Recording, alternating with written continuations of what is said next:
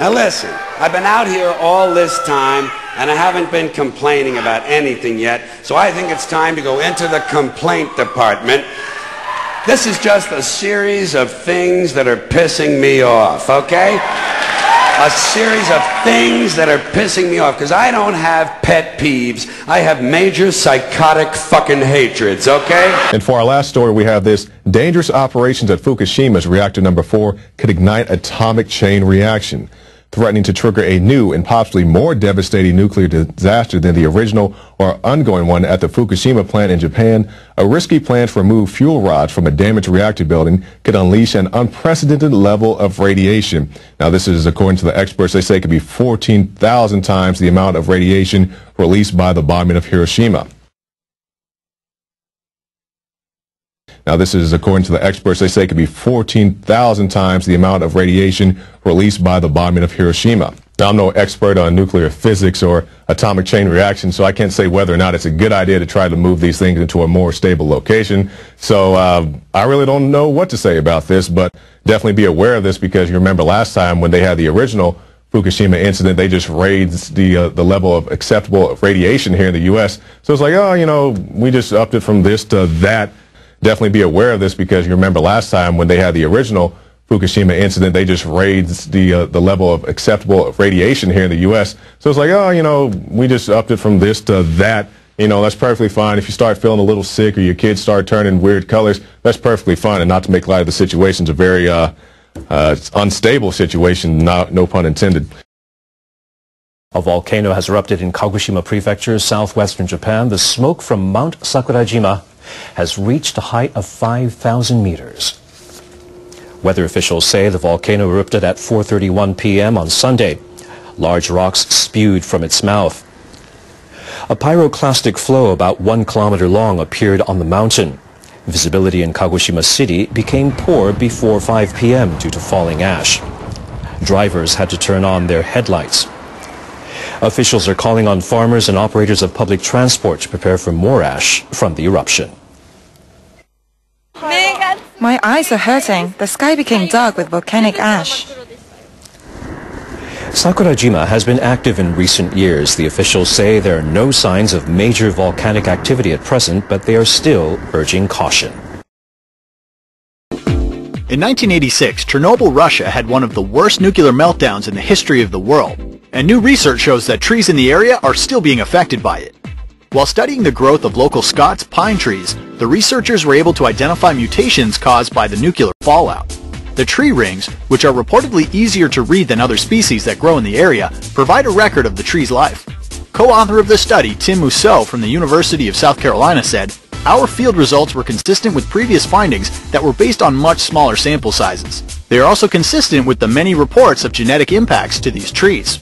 Many of the trees show highly abnormal growth forms reflecting the effects of mutations and cell death resulting from radiation exposure.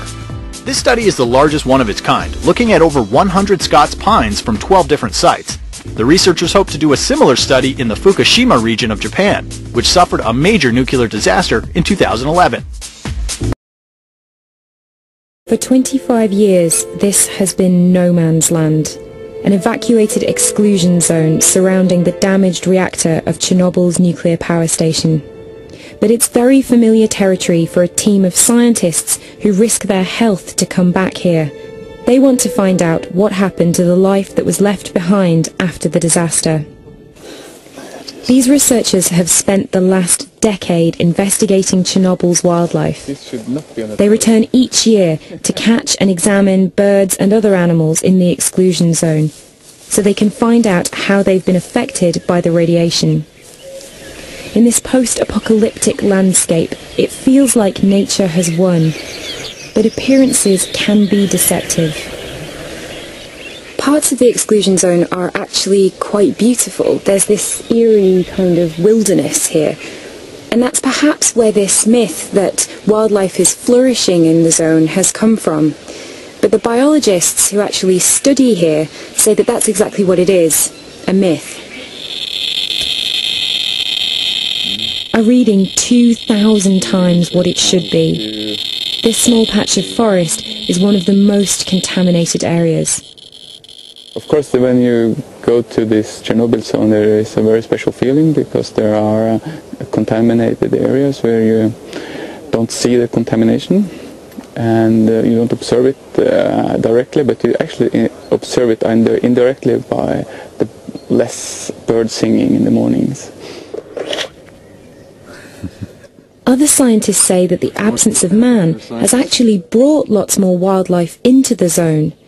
But this team claims to be uncovering just how damaging living here really is the main message that we're trying to get across, uh, the main finding that we've found not only in the birds but also in the insects and with the mammals as well, is that there is a very significant impact uh, of this contamination on both the abundance of these organisms and the biodiversity, the numbers of species that exist. And it's directly proportional to the level of background contamination. In the nearby town of Pripyat, they were preparing to celebrate the opening of their fairground. Then the accident happened. This Ferris wheel was never used. The landscape here might take hundreds of years to fully recover, and the lessons of Chernobyl are only now beginning to be learnt. They could alter the entire nuclear debate. Victoria Gill, BBC News, Chernobyl. Asia, two and a half years since the Fukushima disaster, looks like Japan could be ready to restart some of its 50 nuclear reactors. We felt that putting our users in mortal danger for a quick buck was the right move. But on the ground, the sentiment is still strongly opposed to the restarting of nuclear power. CNBC's Sri Jegarajah recently traveled to the area and files this report. Opponents of nuclear energy don't come tougher than Fukushima cattle farmer Masami Yoshizawa. I am cowboy and resistance. Fueled by coffee, cigarettes and love for his herd of Wagyu cattle, this 59-year-old rancher, like many hit by the 2011 triple disaster, wants Tokyo to pull the plug on atomic power. We clearly know what will happen if there's another earthquake and another tsunami. We need to end nuclear power plants in Japan, and I think people have learned that. The meltdown at TEPCO's Fukushima Daiichi nuclear power plant, triggered by the earthquake and tsunami of March 2011, cost him his livelihood, his once prized stock rendered worthless after being contaminated by radiation through water and pastures.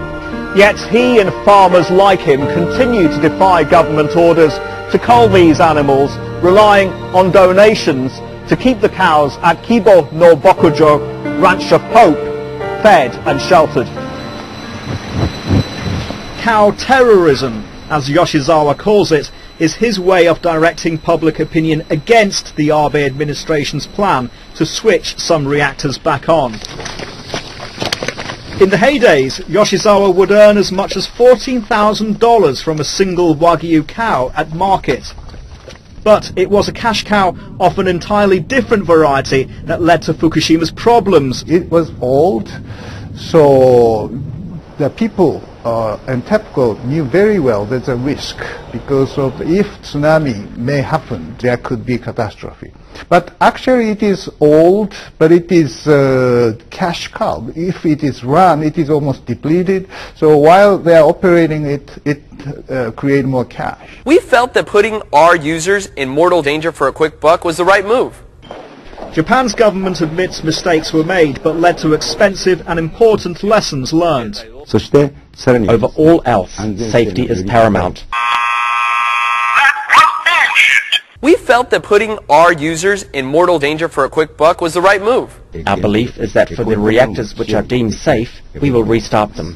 The rebel farmers and the cows they protect face an uncertain future. But one thing is clear, nuclear power is unwelcome. But one thing is clear, nuclear power is unwelcome. The Abe administration, riding high in the opinion polls, faces one of its biggest tests yet in convincing a fearful and resentful public as it considers the switch back to nuclear power. Thank you very much, everybody.